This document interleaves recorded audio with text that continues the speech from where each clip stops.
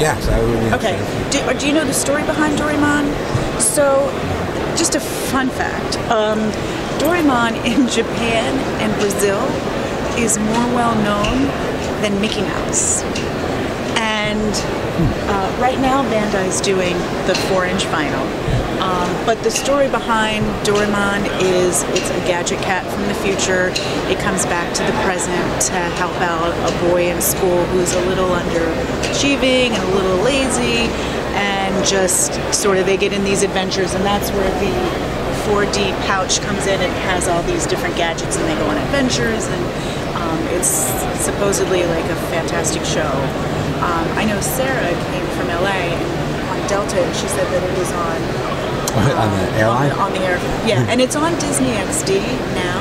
Oh, okay. So this this isn't in yet, but here in the states right now it's just. My family's in Brazil. Oh yeah. Is it?